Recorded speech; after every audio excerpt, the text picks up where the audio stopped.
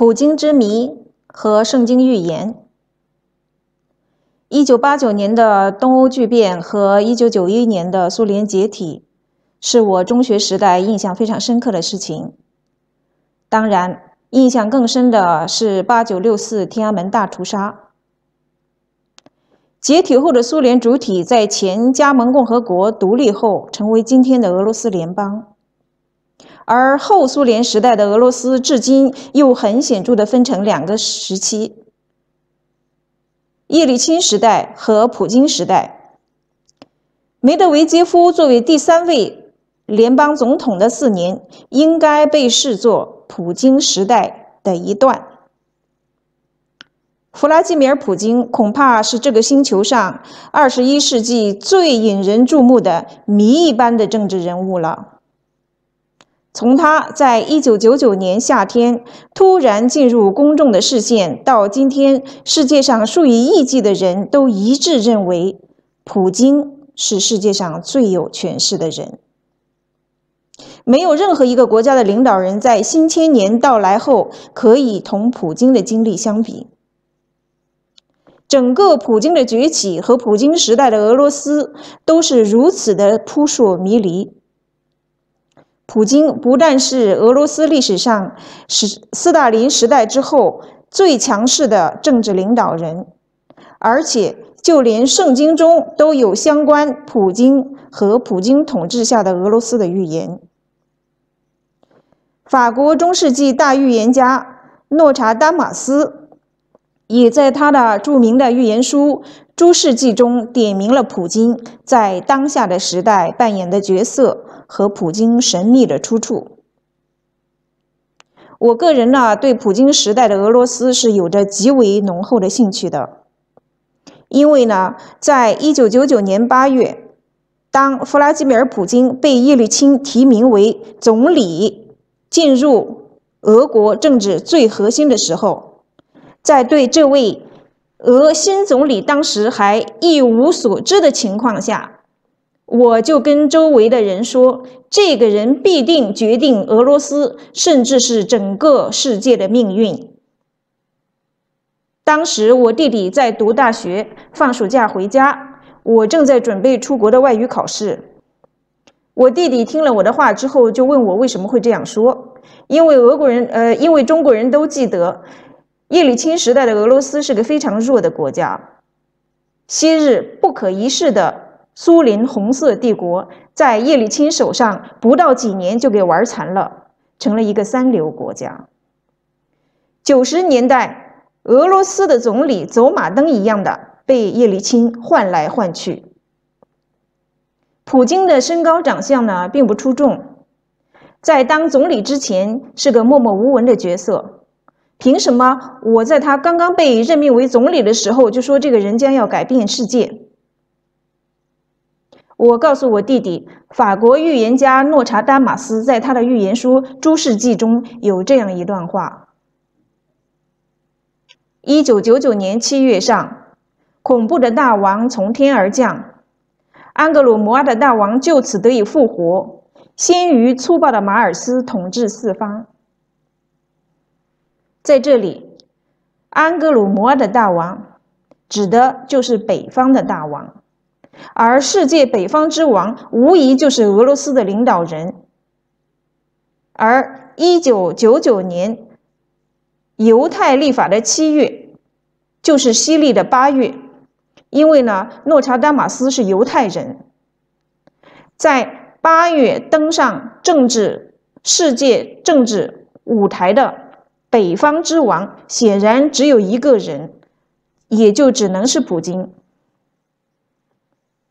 后来的事情大家都有目共睹，普京不但没有重蹈以前几位俄罗斯总理迅速被叶利钦换掉的命运，反而顺利的问鼎了总统的宝座，并且至今统治俄罗斯已经整整十九年。今天的俄罗斯因为普京二零一五年开始介入叙叙利亚战争而成为了中东霸主。向西威胁到整个欧洲，尤其是在二零一四年吞并了乌克兰克里米亚半岛之后，虽然经济上遭到北方制裁，呃，遭到西方制裁。但是几年下来，不但没有垮掉，反而挺了过来。近年来，他还向他国出售了几百亿美金的各类武器。我早在一九九九年判断，无疑是正确的。这位上个千年即将统呃上个千年即将结束之时突然崛起的北方大王弗拉基米尔·普京，今天就是统治四方的复活了的安格鲁摩阿的大王。在《圣经旧约以西结书》三十八章中，还预言了第三次世界大战。那就是俄罗斯将率领土耳其、伊朗、中亚各个斯坦国家、北非的叙利亚、苏丹和埃塞俄比亚等穆斯林诸国联军，发动第三次世界大战。战场在中东，从俄穆联军入侵以色列北部戈兰高地开始。从今天的现实情况来看，俄罗斯领着一众穆斯林联军进攻以色列是很现成的事情，因为今天的俄罗斯取代了叙利亚，事实上已经是以色列的邻国。土耳其和伊朗也已经正在瓜分叙利亚。在圣经里，俄罗斯的王被称为 Gog，哥格。这场。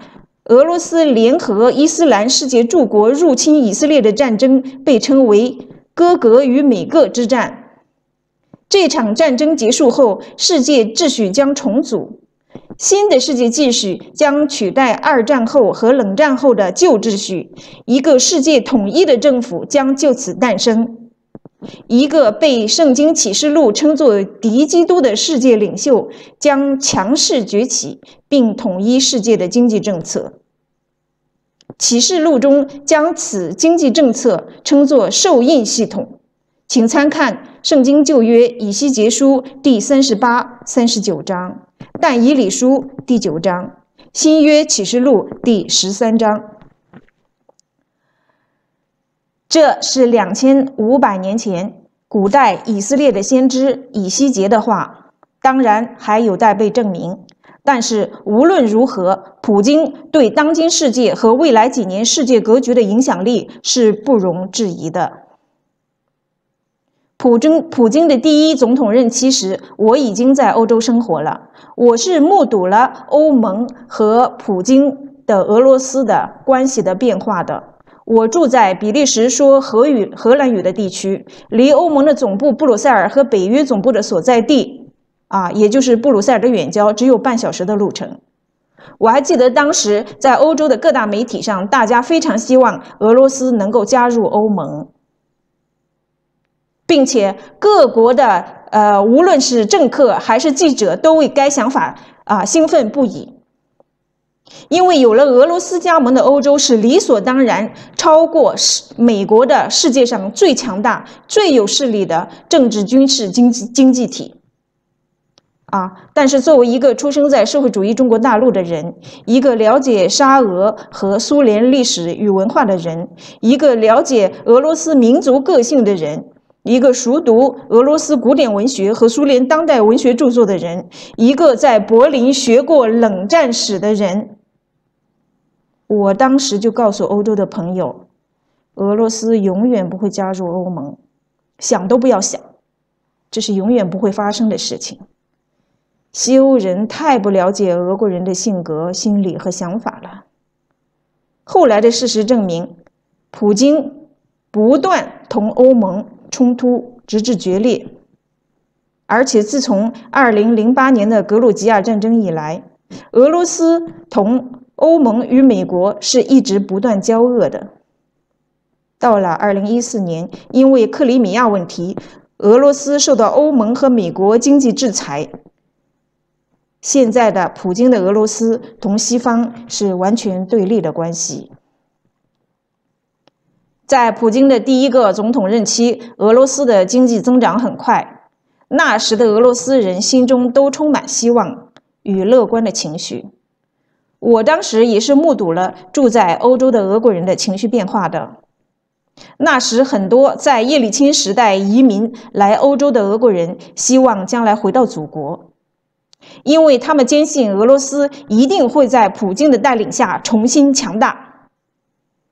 但事情在2009年普京担任总理期间开始转折。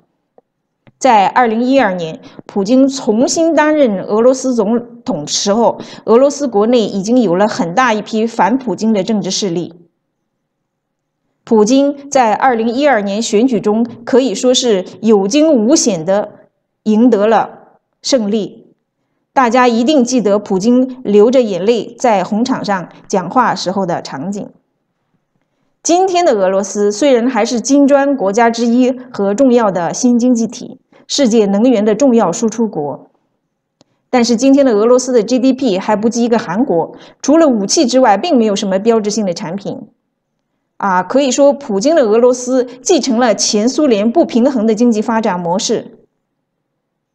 这同普京年轻时所受的苏维埃苏维埃爱国主义教育和普京早年在克格勃所受的训练是不无相关的。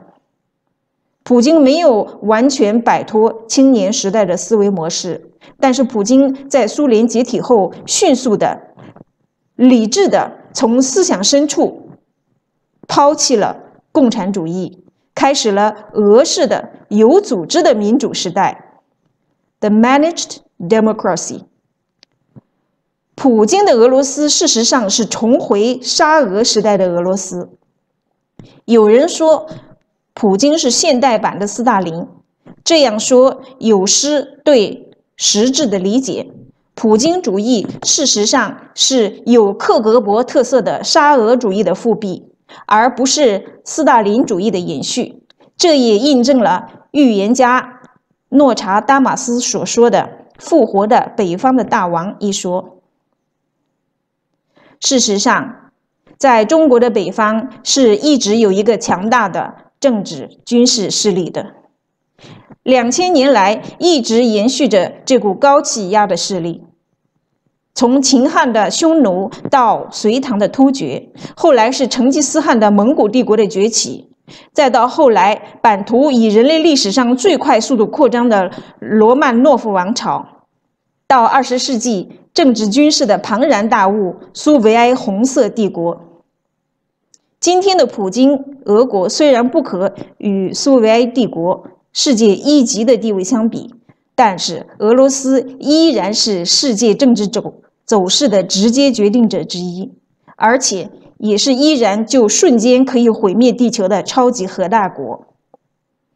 今天的普京帝国可以与昔日罗曼诺夫王朝相比，并不为过。尤其是在普京修宪啊，将总统任期改为六年后，纷纷被其他国家的强势政党领导人模仿。利用普梅二人转和修宪，现代沙皇普京大帝已经在世界的权力顶峰做了将近二十年了。这个故事该如何收场？俄罗斯的命运最终如何？普京将以何种方式走下神坛？会不会被圣经中的那个预言言中？我们将拭目以待。这个二十一世纪世界史政治史上最大的谜，何时？何处以何种方式揭示谜底？